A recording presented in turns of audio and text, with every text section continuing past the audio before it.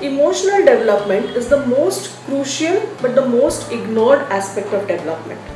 It is all about teaching your children to express the appropriate emotions at the appropriate time, in an appropriate manner, and in an appropriate proportion. But unfortunately, most adults are also not emotionally well developed. As adults, we first need to understand, to identify and accept our emotions, and then express them accordingly. If we learn this, we would be in a much better position to equip our children emotionally.